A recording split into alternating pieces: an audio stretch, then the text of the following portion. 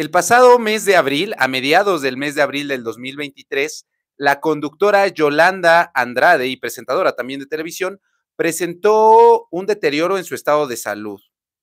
Presentó sangrado de tubo digestivo a decir de varios eh, notas periodísticas e incluso declaraciones que ha dado sus propios familiares en diversos medios. Posterior a ello, se empezó a especular sobre las causas por las cuales Yolanda Andrade hubiera tenido sangrado de tubo digestivo. Más adelante, conforme pasaron los días, se empezó a decir que tenía un tumor en el cerebro. Y el día de ayer, a través de imágenes eh, dadas por el periodista Jorge Carvajal, eh, se vio que tenía un deterioro en la visión, que sus ojos estaban sumamente hinchados. Y hoy por la mañana, aproximadamente entre las 9 y 10 de la mañana, Yolanda Andrade dio las primeras declaraciones acerca de su condición de salud. Habló sobre el sangrado de tubo digestivo, habló sobre la supuesta parálisis que presentó en el rostro, habló sobre el tumor que también le fue diagnosticado y sobre este daño en los ojos, incluso sobre si su vida estaba al borde pues del peligro. Yo soy Octavio Arroyo, médico especialista en medicina interna y el día de hoy hablaremos sobre todas estas declaraciones que se han dado en torno a la salud de Yolanda Andrade. Claro, dejando muy en claro, en primer lugar, todo el respeto a la presentadora de televisión, eh, y dejando también claro que como cualquier otro ser humano, merece respeto a su intimidad y su salud. Estas declaraciones están basadas en entrevistas, insisto, que se han dado en otros medios de, comunicación y las dos principales las voy a dejar en la caja de descripción. La, el reportaje que hizo Jorge eh, Carvajal junto con el Philip y la misma entrevista que hoy en la mañana dio a em, Yolanda Andrade. Como saben, aunque sea médico internista, esta es mi mera suposición. No estoy asegurando nada, puesto que yo no soy su médico tratante. Y el fin de este video, el fin principal es que si alguien está atravesando por una condición eh, similar, puede entender de qué va esto que le sucedió a esta persona famosa, como lo hemos hecho con otros videos. Dicho lo anterior, ahora sí comencemos. Bueno, Yolanda Andrade, para los que no sepan, es una presentadora eh, que se ha hecho muy popular por su manera tan irreverente de dar las noticias y, y ha presentado durante todos sus años de carrera diferentes momentos polémicos. Tal vez de los más recientes es su salida del closet, em, identificándose como una, eh, como una eh, mujer como parte de la comunidad LGBT. De igual forma, aseguró que pues había estado casada con, con Verónica Castro. Y bueno, eh, a finales, por ahí del 24 de abril, para ser exactos, en el programa de Imagen Televisión, con Gustavo Adolfo Infante, este presentador y periodista, la hermana de Yolanda Andrade dio declaraciones sobre el estado de salud, donde días antes había estado internada porque había presentado un sangrado de tubo digestivo.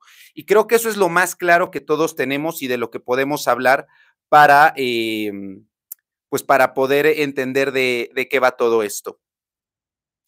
El sangrado de tubo digestivo, bueno, primero hay que entender qué es un sangrado de tubo digestivo. Hay dos formas en las cuales se, bueno, tres formas principales en las cuales se puede presentar o podemos pensar que una persona está sangrando de, pues del, tracto eh, digestivo. Como sabemos, tenemos la boca, el esófago, que es el tubito que lleva la comida de la boca al estómago, el estómago, después los el intestino delgado y posteriormente el colon o el intestino grueso. El intestino delgado se divide a su vez en tres partes. La primera, que es el bodeno, la segunda, que es el yeyuno, y la tercera, que es el ilium. Eh, se considera sangrado de tubo digestivo alto cuando el sangrado viene del yeyuno para arriba, es decir, que el sangrado puede ser de la boca directamente, porque es parte del tracto digestivo, del esófago, del estómago o del duodeno. Partiendo de que entendemos que estos son los cuatro principales sitios de donde puede venir un sangrado, también podemos entender entonces las causas por las cuales Yolanda Andrade pudo haber presentado esta situación. Bueno, si, la persona, ¿cómo sospechar si, eh, que una persona o que mi familiar podría tener un sangrado de tubo digestivo? En primer lugar, puede presentarse con hematemesis. Hematemesis es, o, bueno, sí, hematemesis es el, el término para el vómito en sangre. Y este vómito eh, de sangre puede ser con sangre roja rutilante, es decir, rojo, rojo, rojo, rojo, como la sangre que nos sale de la nariz, o puede ser con un sangrado en pozos de café. Es decir, que sea sangre que ya fue remolida o que fue, pues sí, digerida por los jugos gástricos y que obviamente tiene tiempo ahí en el estómago y días después se vomita. Este, este sangrado, de hecho, se llama así en pozos de café porque es muy característica la imagen. Cuando ustedes terminan de tomar café, si los restos que sobran, se van a dar cuenta que quedan como eh, granulitos. A eso se le conoce como sangrado en pozos de café y nos indica que el sangrado puede venir de la parte superior. Y como les decía, hay una tercera forma de manifestarse que es a través de melena. El término melena es el término que le damos a la sangre remolida, igual que en pozos de café, pero no sale por arriba, sino que sale por abajo, se evacúa. Cuando una persona evacúa negro como chapopote, pero literal negro, así como la pantalla que estamos viendo acá, que es negro, seguramente las personas que han visto sangrado de tubo digestivo eh, en forma de melena han visto que sale de este color como chapopote. Y el olor es muy característico, es un olor sumamente desagradable, pero en eso no es solamente un olor a excremento o a, o a popó, sino realmente es un olor muy, muy, muy desagradable. Esas son las tres formas en las cuales nosotros podríamos sospechar de forma clínica que una persona tiene sangrado de, eh, tubo digestivo, porque tenga em, un sangrado rojo rutilante, que tenga vómito en pozos de café o que tenga melena. Ahora, por lo que yo entiendo en las declaraciones que han dado las personas que han estado cerca de Yolanda Andrade, ella vomitó sangre.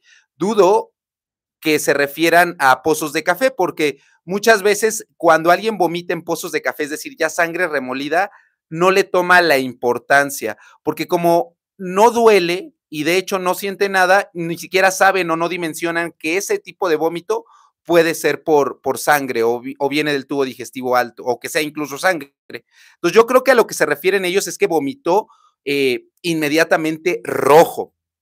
Ahora, ¿Cuáles son las causas por las cuales Yolanda Andrade, explicando estos tres, estos dos puntos previos, el tipo, en eh, la forma en la cual uno lo puede identificar y cuáles son las partes del tubo digestivo alto, pues son tres causas principales. La principal es que tenga enfermedad acidopéptica o en términos sencillos, una úlcera. Una úlcera gástrica, eso puede ser la principal causa. Otra segunda causa puede ser una gastritis erosiva, pero no solamente una gastritis como el dolor que todo mundo puede entender por gastritis, este dolor en la boca del estómago o sensación de vacío, sino un, un diagnóstico de gastritis hecho por la toma de una biopsia a través de una endoscopía.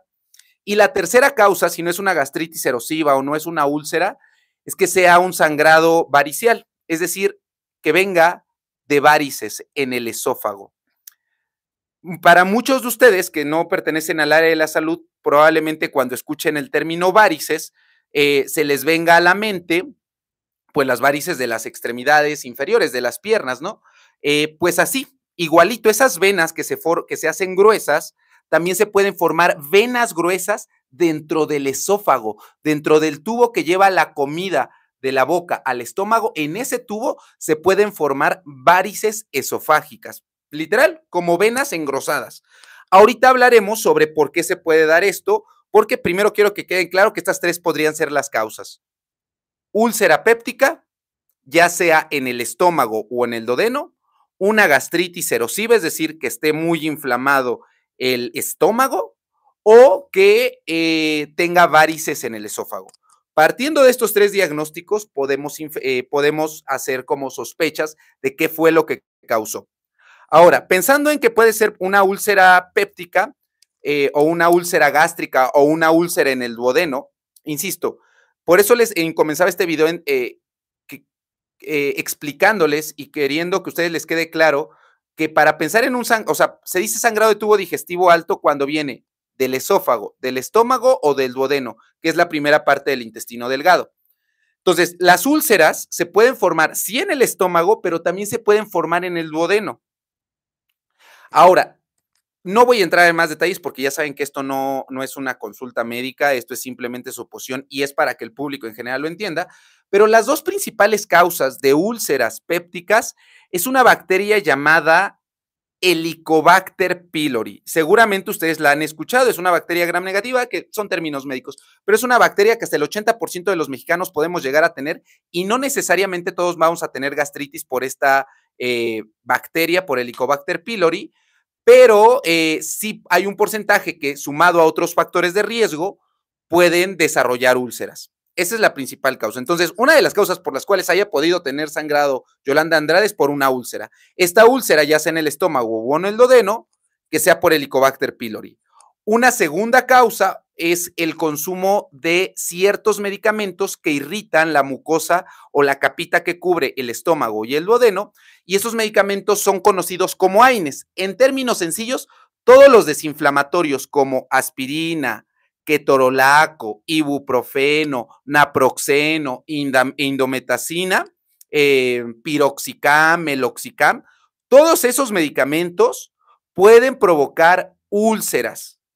Y es azul, por eso es tan importante que no se automedican eh, las personas, porque de verdad, hay personas, esto pasa mucho más en personas por arriba de los 60 años, que todos los días, porque tienen dolores en las articulaciones, dolores de cabeza, dolores en la espalda, se están tomando ibuprofeno, ibuprofeno o aspirina y aspirina y aspirina eh, a dosis altas, una, dos, tres pastillas, y están constantemente tomándola, puede provocar eh, sangrados de tubo digestivo por la presencia de úlceras. Esto es súper común.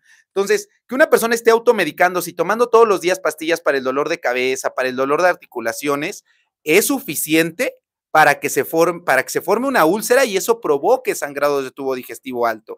De verdad, ustedes no saben la cantidad de personas que llegan a los servicios de urgencia, se los digo porque yo soy médico internista que estuve eh, en atención a pacientes en el área de urgencias, en pacientes hospitalizados y por eso sé sobre estos casos, por la evidencia científica, pero también por la experiencia que me ha dado mi carrera. Entonces, em, partiendo de esto, pues tenemos dos causas. Eh, Helicobacter pylori, que es una bacteria que, insisto, todo el mundo la puede tener. Y sumado otros factores que ahorita vamos a ver qué factores eh, pueden ser y que Yolanda tenía, pueden sumarse y el consumo de medicamentos para quitar el dolor.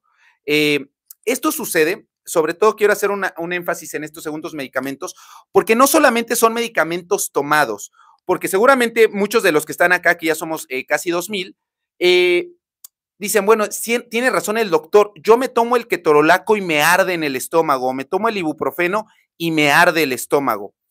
Sin embargo, también es importante que sepan que estos medicamentos la forma en la cual provocan úlceras no es solamente porque se tomen y caigan directo en el estómago o en el duodeno, sino porque por la forma en la que actúan en nuestro organismo, hacen que la capita protectora del estómago o del duodeno se desintegre.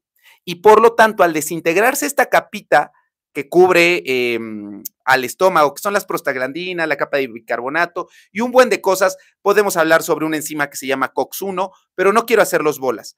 A lo que quiero llegar con esto. A pesar de que ustedes digan, yo no me tomo el ketorolaco o no me tomo el ibuprofeno, pero me lo inyecto, eso también provoca daño directo en el estómago y también daño en los riñones, ¿eh? Si se ocupan por más de 5 o 7 días, si no es prescrito por un médico. Entonces, por eso es importante que no se automediquen, porque puede de verdad pasar esto. Entonces, estas dos son las causas por las cuales, si es que Yolanda Aldrade presentara una úlcera péptica, pues podrían, podrían eh, determinar. Ahora, ¿cómo saber si una persona tiene una úlcera péptica? O en general, cuando una persona tiene sangrado de tubo digestivo alto, tiene que hacerse una endoscopía, es decir, meter una camarita por la boca, bajarla por el estómago y, eh, bueno, bajarla por el esófago, perdón, y ir viendo el esófago, ir viendo el estómago, ir viendo el duodeno. Para entonces, bueno, que muchas veces no se puede llegar hasta el duodeno propiamente, pero para poder ver todo ese, ese trayecto y ver si son varices, si es una gastritis o si es una úlcera, como les decía. Ahora, una tercera causa eh, que puede ser son los virus. Y ahorita les voy a decir por qué en Yolanda podría ser esto. Fíjense que hay virus, y no me hablo solo de COVID, ¿eh? o sea, porque creo que con la pandemia todo el mundo creyó que todo era COVID. No, virus como citomegalovirus, virus como herpes simple incluso, pueden provocar úlceras en el estómago y en el duodeno. Entonces, lo voy a decir por algo que más adelante va a tomar mucha relevancia. Ahora, como les decía, no todos los que toman AINES, o sea, ese AINES significa antiinflamatorios no esteroideos, o sea, ketorolaco, ibuprofeno, naproxeno. No todos los que toman AINES, no todos los que tienen helicobacter y no todos los que tienen un virus van a provocar úlceras. Sin embargo, en ciertos contextos, por ejemplo, de mucho estrés, que está muy asociado, muchísimo estrés, pueden, puede sumarse este factor y entonces provocar una úlcera. Y entonces ahí sí venir el sangrado de tubo digestivo. También el consumo de alcohol es un factor para determinar que se formen úlceras en el estómago. No es el único factor, pero se puede, si se asocia con el Helicobacter y se asocia parte del alcoholismo y el estrés, yo no estoy diciendo que Yolanda Andrade tenga alcoholismo actualmente. Ella ha dicho en diferentes entrevistas que ha tenido, que presentó eso y de hecho en la entrevista que dio hoy temprano, usted, que insisto, la voy a dejar aquí en la caja de descripción, ella dice que no entró al hospital por una recaída. Eso lo quiero dejar muy en claro, ¿eh? eh ahora, estos factores ahora sí pueden desembocar a una úlcera. La segunda causa, partiendo de la úlcera, ah, bueno, y si es una úlcera, ¿qué es lo que se tiene que hacer? Se tiene que dar gastroprotectores, es decir, básicamente en términos sencillos, omeprazol, pero a dosis mucho más altas y por la vena. Digo, pongo omeprazol por ejemplo, pero puede ser el de, de el esomeprazol y todos sus derivados. Eh, un inhibidor de la bomba em, que produce el ácido clorhídrico en el estómago para que no se irrite más. Entonces, esto es el tratamiento que se da. Si la persona también está tomando anticoagulantes por alguna razón, pues obviamente si está tomando anticoagulantes, pues hay que suspenderlos para que no siga sangrando. Eh, y se tiene que quedar la persona en ayuno en lo que mejora el sangrado de tubo digestivo. Y obviamente, si este sangrado condiciona una anemia, que yo creo ahí sí, que por las características, yo creo que el sangrado que tuvo Yolanda Andrade fue tan fuerte que muy probablemente, eh, pues obviamente la deshidrató pero yo creo que la deshidrató a tal grado, por lo que ahorita vamos a ver más adelante, que cayó en un estado que se llama choque hipovolémico. El estado de choque es una deshidratación muy severa por falta de líquidos. El principal líquido, pues la sangre, entonces por eso es un choque hipovolémico. Y yo creo que eso fue lo que muy probablemente pasó, aunado a que, claro, ella dice que acompañado de estos vómitos con sangre tuvo diarreas. Entonces probablemente se deshidrató y esto también provocó daño en el riñón por la deshidratación. Entonces, obviamente se tiene que transfundir incluso a la persona. Esto va a depender de los niveles de hemoglobina, se tienen que poner líquidos, este, eh, líquidos intravenosos, se tiene que canalizar, se tiene que hacer todo esto. Ahora, eso por una parte, hablando de las úlceras. Eh, para la úlcera, si no se revienta la úlcera, si no perfora, porque las úlceras se pueden perforar, ¿eh? Puede perforar el estómago, que yo creo que no fue el caso de Yolanda, tanto es así que pues no, no, no han existido declaraciones que la hayan tenido que operar o que haya sido sometida a un procedimiento quirúrgico. Y no hablo de operar que abran del estómago, sino pueden incluso hacerlo laparoscópico o por la misma endoscopía. Pero bueno, si solamente es una úlcera, se deja descansar al tubo digestivo y tan tan. Y eh, se da tratamiento, por ejemplo, si se identifica el Helicobacter, se da tratamiento. Incluso muchas veces, aunque no se identifique el Helicobacter, se decide dejar tratamiento antibiótico para esta bacteria. Que fíjense que les cuento que eh, la bacteria, el tratamiento antibiótico para el Helicobacter es por 10 días. Y el antibiótico, los que se dan comúnmente es amoxicilina, claritromicina, eh, algunas tetraciclinas, bismuto, que insisto, esto no es una consulta médica, pero hablando de los antibióticos que se dan para el Helicobacter, a veces pueden irritar más que la propia bacteria. Entonces tiene que determinar si realmente hay helicobacter o no para dar el tratamiento y esto se hace con una biopsia. Esto lo quiero dejar bien claro. Hay pruebas actualmente que se hacen para identificar helicobacter a través del aliento, pero no han mostrado la suficiente evidencia para decir que son eh, pertinentes. Si tú sospechas que tienes helicobacter pylori, y no tú, tu médico, porque les digo que hasta el 80% de los mexicanos podemos tener. Si determina que es necesario hacer una biopsia, eh, se tiene que ser, eh, o sospecha en helicobacter, se tiene que hacer a través de una endoscopía, se toma un pedacito del estómago o de la parte dañada y se va al microscopio a ver si realmente es ese helicobacter. Pero bueno, y la otra es que sea por, eh, como le decía, por AINES o por virus y dar tratamiento para los virus. Ahora, una segunda causa, como les decía, es que tuviera una gastritis erosiva, que eso también yo, yo creo que va por ahí más que una úlcera, o no lo sé, porque insisto, yo estoy dando suposiciones. Una gastritis erosiva, que eso es más frecuente que la úlcera. Es decir, hay tanto estrés, ya sea por falta, por ayunos prolongados, por inadecuada alimentación, por consumo de alcohol, por consumo de irritantes, por el estrés, que hacen que el estómago en general se irrite y a eso se le llama gastritis erosiva. Sin embargo, insisto, el término gastritis está muy difundido hoy por hoy en todas las personas y creen que eh, gastritis, el diagnóstico de gastritis es solamente si te arde el estómago, te duele la boca del estómago o hay reflujo. El término, eso se llama pirosis, puede ser epigastralgia, esos son los términos médicos. Pero decir gastritis solamente cuando se ve al microscopio. Eso es un término eh, de anatomía patológica. Es decir, hasta que se toma una biopsia se puede decir que la persona tiene gastritis.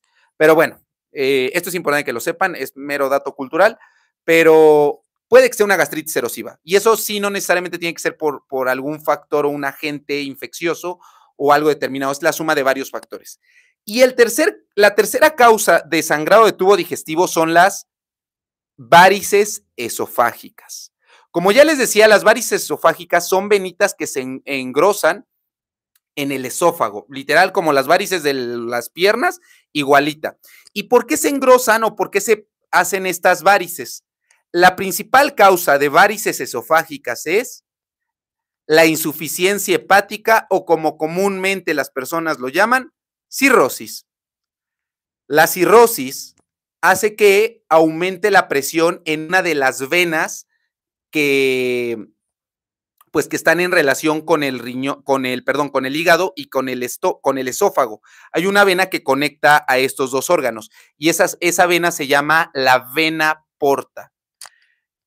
Esta vena porta, al estar el hígado ya tan duro, porque hay cirrosis, por, pues ahorita vamos a hablar sobre las causas de cirrosis o de insuficiencia hepática, que es el término correcto, eh, se engruesa, o sea, se pone tan duro el hígado, en términos sencillos, si se hace chiquito, y lo estoy explicando, ya saben, para el público en general, porque esto no es una clase médica, pero se engruesa tanto el hígado que entonces la presión de esta vena aumenta y a eso se le llama hipertensión portal. Si ustedes han escuchado el término hipertensión portal, se refieren a que la presión de esta vena aumentó y esta vena, insisto, está en relación en el hígado. Entonces, como el hígado está muy duro, aumenta la presión. Y esta presión de la vena, imaginémonos a las venas como, eh, como mangueras. Es, de esta vena porta salen las otras, eh, las varices o las venas que comúnmente todos tenemos en el esófago. Nada más que aumentan y se forman las varices esofágicas porque aumenta la presión tal como un mecanismo parecido al de las varices de las piernas, porque se ponen guangas y aumenta la presión y todo, y no, no pueden regresar la sangre, a eso se le llama eh, varices esofágicas. Y esto se da por una hipertensión portal. Ahora, esa es una tercera causa por la cual las personas pueden tener sangrado de tubo digestivo. Yo no estoy diciendo que Yolanda Andrade haya tenido varices esofágicas, porque si una, ¿cómo saber si alguien tiene? Insisto, por la endoscopía. Ahora, si alguien tiene varices esofágicas, lo primero que yo pienso es que no tenga ya cirrosis o insuficiencia hepática crónica. Y como sabemos, la principal causa de cirrosis es el consumo de alcohol. El ante, y no solamente consumo de alcohol reciente, a diferencia de, por ejemplo, si yo un día me doy una emborrachada de un día para otro, mi estómago se puede irritar bastante y obviamente eso puede provocar una gastritis erosiva y vomitar. Me refiero al consumo de alcohol por años tal como el caso de Yolanda Andrade, que yo no estoy diciendo que ahora tenga cirrosis, porque vuelvo a lo mismo. Ella en la entrevista que dio hoy en la mañana dice, yo no tengo cirrosis, y la pueden encontrar en la caja de descripción, ¿eh? Lo mismo Jorge Carvajal lo dijo, ella no tiene cirrosis. Pero sí quiero explicarlos porque si ustedes, en alguien de los que nos está viendo, que siga Yolanda Andrade, me siga a mí, a Jorge Carvajal, o en general, eh, sigue canales, eh, puede entender o, alguien de su familia presenta varices esofágicas, comprenda a qué se refiere. Entonces, estas varices esofágicas, como están tan grandes, están fum, fum, fum. Y entonces, ¿qué pasa cuando un, vaso sanguíneo está pum, fum, fum, fum, fum, fum, fum, con, con presión alta? Sangra. Y entonces ahí viene, ¿qué es lo que se tiene que hacer? Si sangran esas venitas, hay que primero cauterizar, o se puede cauterizar o se pueden poner grapitas. De hecho, es una de las opciones de tratamiento. Se ponen grapitas en las varices esofágicas. Em, y pues obviamente esto ocurre cuando la insuficiencia hepática ya está muy avanzada. Por eso le decía, es una insuficiencia hepática crónica.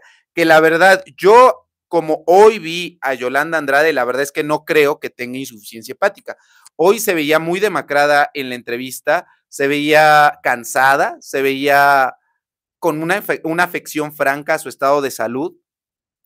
Y entonces, eh, cuando una persona con insuficiencia hepática crónica no se puede ver como se veía hace un mes en las entrevistas. Por lo regular es una persona ya muy demacrada, que se ve con ictericia, es decir, se ve amarilla, todo su cuerpo está hinchado porque como el hígado se encarga de regular los líquidos en el cuerpo junto con el riñón, pues ya no los controla y la persona se empieza a hinchar, eh, desarrolla algo que se llama asitis, es decir, se le infla la panza porque se llena de agua, el abdomen. Entonces yo no creo que tenga que que sea por insuficiencia hepática, que sea por cirrosis esta, este sangrado. Eh, ahora, esto también es importante que lo diga porque es un mito muy común. Muchas personas dicen, sangró, vomitó con sangre, vomitó negro, está sacando el hígado. No, por favor. El hígado no está dentro del estómago, dentro del tubo digestivo. El hígado está por fuera, o sea, está fuera de los intestinos, fuera del estómago. Entonces no hay forma de que se vomite el hígado, porque hay muchas personas que creen eso. Es que si vomita sangre, vomita rojo, está vomitando el hígado. No, entonces no, no va por ahí. Vomitan a través del sangrado de tubo por las varices esofágicas, pero no vomitan por porque estén vomitando el hígado. Yo no creo en este caso, desde mi perspectiva como internista, que sea la causa por la cual. ¿Qué es lo que sí considero de estas tres causas de sangrado tubo digestivo? Uno, que haya sido una gastritis erosiva por muchísimo estrés o incluso por una infección viral o que si haya tenido una úlcera péptica. Yo creo que va por ahí. Estas dos son las opciones. Para mí me suena más una gastritis, sobre todo porque ella en las declaraciones eh, ha dicho, dijo, su hermana lo dijo, Jorge Carvajal lo dijo, que no encontraron nada en la endoscopía. Entonces, cuando no se encuentra nada, se refiere más bien a lo que muy probablemente solamente fue una gastritis erosiva. Que a lo mejor nosotros como médicos dijimos, ah, pues no es nada porque realmente no es nada de gravedad pero sí es importante que sepan que una gastritis erosiva puede provocar sangrados de tubo digestivo. Eh, y más porque no le había pasado antes. Bueno, aparentemente por lo que se sabe y por lo que se ha dicho, no hay antecedentes que se haya mencionado que antes hubiera tenido más sangrados. Entonces yo creo que fue una gastritis erosiva, pero creo en particular que fue probablemente, se sumó una infección viral. Una infección viral sumado a condiciones de estrés probablemente sí pudo haber provocado el sangrado de tubo digestivo. ¿Y saben por qué? Porque justamente en la entrevista que dio el día de ayer Jorge Carvajal, y que insisto, la voy a dejar en la caja de descripción, él muestra un video que Yolanda Andrade le envió directamente a Jorge Carvajal, donde los ojos se le ven sumamente hinchados. Se le ve como eh, se ven rojos, no los puede abrir. No se ve muy bien por la imagen si tiene mucha lagaña, pero eso me parece a mí, por esos ojos que los tiene así cerrados y muy hinchados, que muy probablemente lo que le pasó fue que tuvo una conjuntivitis, o sea, una inflamación de la conjuntiva, que es la eh, capita que nos cubre los ojos. Y esa conjuntivitis, pues la principal causa son conjuntivitis virales. Y entonces, si pensamos, empezamos a relacionar, porque también lo digo, digo, yo estoy suponiendo como internista, ya saben que una de las funciones del internista es em, investigar y cuadrar todo.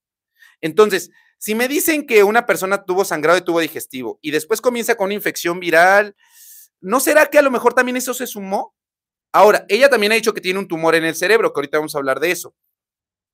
A mí, a mi parecer, si no está relacionado lo de acá con lo de acá, probablemente esa conjuntivitis que tuvo la adquirió en el hospital y no porque hayan tenido malos manejos, pero es muy frecuente que cuando una persona esté inmunosuprimida, es decir, con las defensas bajas y llega a un hospital, a veces por más que se tengan todas las medidas, se puede, se puede adquirir virus y entonces generar una conjuntivitis. Yo no puedo saber si realmente estaba relacionado esto con esto, pero o si es que sí estaba relacionado, puede ser, o u, opción dos, que lo haya adquirido este, esta conjuntivitis dentro del hospital, porque esta, este video ya, por lo que entiendo, se lo mandó ya estando en su casa Yolanda Andrade. Entonces puede que sea por ahí. Ahora, em, insisto, yo estoy dando todas estas declaraciones de, acuerdo a lo que yo veo y es mera suposición. Eh, dice Yolanda Andrade que de todos los estudios que le han hecho no ha salido nada. Incluso Jorge Carvajal pone imágenes eh, no en este video que les dejo abajo, sino uno de días previos, eh, que creo que se llama Verdad o Mentira o algo, algo así se llama, y está la foto de Yolanda Andrade, dice eh, o se muestra imágenes que Yolanda le mandó donde están haciéndole aparentemente o una tomografía o una resonancia. y de ahí salen todos los estudios que le hicieron, de ahí sale que le encontraron un tumor en el cerebro. Aquí quiero también dejar muy claro esto. Un tumor en el cerebro no es sinónimo de que sea cáncer o un tumor en cualquier parte del cuerpo. O sea, a mí me puede salir una, una bolita de grasa que se llaman lipomas y eso es un tumor de grasa y es benigno. Los miomas son tumores en el útero y son benignos. Entonces, un tumor no significa que sea cáncer. Ahora, ¿a qué le llamamos tumor? Puede ser, yo a como veo, porque le preguntaron, ¿es cáncer? Y Yolanda Andrade dice, no, no es cáncer. Pero en el momento en el que ella da como la respuesta, y la pueden ver, eh, insisto, está en la entrevista, la encuentran a las afueras eh, de su centro de trabajo y están ahí varios reporteros y le preguntan y le dicen, oye, este, ¿qué, tienes? Ella se muestra como un poco eh, pues no, incluso no quiere hablar. Cuando le preguntan, ¿cómo es tu pronóstico? Ella incluso se pone a llorar. La voz se le entrecorta. Eh, yo no creo que sea algo delicado lo de acá arriba, porque en una mujer de su edad, que aproximadamente tiene entre 45 y 55 años, no son frecuentes los tumores malignos de cerebro, que son los astrocitomas o un glioblastoma. Esos son más frecuentes en hombres y por arriba de los 65 años. Entonces, no creo que sea ninguna de estas dos. ¿Qué creo yo? Que a veces cuando se encuentran bolitas, no sé, te hacen una tomografía del cráneo por una u otra razón. O incluso cuando se piensa que alguien tiene un EBC, es decir, una hemorragia en el cerebro, un infarto, una embolia, te hacen tomografías para ver que no haya sangrado el cerebro y se encuentran unas cosas que se llaman aracnoidoceles. Los aracnoidoceles son con pequeños tumorcitos eh, o incluso se les llaman quistes de aracnoidocele, que son quistes literal bolitas que están llenas de nada y que se formaron como parte del tejido cerebral extra, porque no solamente en el cerebro hay neuronas, hay tejido cerebral extra que se llama glía, pueden formar estos quistes, pero eso no significa nada. A menos que de verdad ese quiste comprima, pues puede ser. Otra opción es que en la hipófisis haya tenido un adenoma, que eso también es un tipo de tumor, que tenga un prolactinoma, así como el que tuvo Pati Navidad, pero no creo, ¿eh? La verdad es que yo creo que si le dicen es un tumor, pero es benigno y no tiene nada de que te compromete y no está relacionado, yo creo que fue un hallazgo, a lo mejor no, no sé, por, a mí me llama, lo que sí me llama la atención es por qué alguien que llega con sangrado de tubo digestivo alto, le hacen una tomografía, que ahorita les voy a decir por qué creo que pudo haber pasado. Ahorita, espérenme. Entonces, lo de acá arriba, yo creo que fue un aracnoidocele o fue un adenoma y que no realmente no tiene nada que, ver esto con lo de acá, pero fue porque fue un hallazgo. Es, ya saben, es como cuando de pronto ustedes les hacen una tomografía de los pulmones, cuando estaba lo de COVID, y como se alcanzaba a ver un poco del riñón, decían, ay, tiene un quiste en el riñón o se vio una supuesta piedrita, pero no era el motivo del, por qué le tenían que hacer el estudio, fue un hallazgo y no necesariamente toma relevancia para el cuadro clínico del paciente. De ahí la importancia de hacerle caso a los signos y síntomas del paciente y dependiendo de ello pedir los estudios, no a ver qué encuentro. Entonces, esto, esto es un abordaje que todo el mundo, todo, mundo debe hacer como médico, pero eh, pues más los internistas. Ahora, ¿qué creo que fue lo que pasó? Porque en otra entrevista de Jorge Carvajal que él asegura que Yolanda Andrade le ha hablado por teléfono y, le da toda la información. Dice que Yolanda Andrade se iba a morir, que eh, estaban, una enfermera estaba checándole los signos vitales con el oxímetro, dice que la vio rara, que salió a hablarle a los médicos y en ese momento Yolanda Andrade empezó a sentir que se iba al otro mundo. Textualmente así lo dice Jorge Carvajal que empezó a sentir mucha tranquilidad, que los ángeles le hablaban, que empezaron a, llegar los médicos, pero ya no los veía, pero sentía que estaban ahí y que le empezaban a preguntar que cómo estaba, que su nombre. ¿Qué es lo que pasó? O sea, yo entiendo que fue la perspectiva que Yolanda Andrade tuvo y cómo lo interpretó Jorge Carvajal, pero ¿qué creo que fue lo que pasó? Muy probablemente Yolanda Andrade, por esta deshidratación tan severa y por probablemente el choque hipovolémico, porque yo no sé exactamente cuándo pasó, probablemente fue los primeros días, pues probablemente Yolanda está eh, con un desequilibrio en, la, en, la, cantidad de sales en su cuerpo, con un desequilibrio en la cantidad de líquidos, o sea, está deshidratada, en términos sencillos. Y es súper común que una persona que está bajo una situación eh, delicada de salud y que haya deshidratación o que esté con inflamación de su cuerpo, sienta que se va a desmayar o se desmaye. Y entonces empiece con lipotimia, que es el término médico para esta sensación.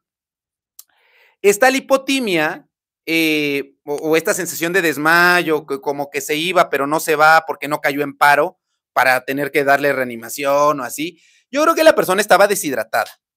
Y obviamente por eso medio escuchaba, pero no estaba atenta, pero sí, pero no. Yo creo que fue lo que sucedió.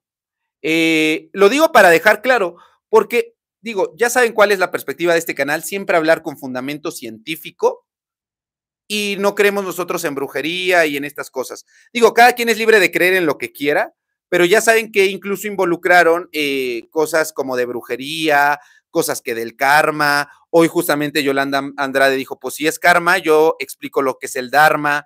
Eh, porque, Yolanda, porque Verónica Castro eh, publicó un video en, en, su cuenta de Twitter, que ahí lo pueden encontrar, pueden poner Verónica Castro, bajan, y creo que es del veintitantos de abril pone, esto es el karma. Y entonces muchos empezaron a asegurar que era porque Verónica Castro se lo estaba diciendo a Yolanda Andrade, porque recuerden que Yolanda Andrade había hablado sobre, eh, pues a decir de ella, de la relación que tuvo con Verónica Castro, por allá cuando ella en 2002, 2003, cuando estaba Big Brother, que recuerden que ella decía, ¿se podrá Big Brother? ¿Se podrá? Ven que ella era la conductora y Yolanda Andrade estaba, era parte de los, de los concursantes. Creo, Creo que estaba en la final en el Big Brother VIP 2 entre Omar Chaparro y Yolanda Andrade.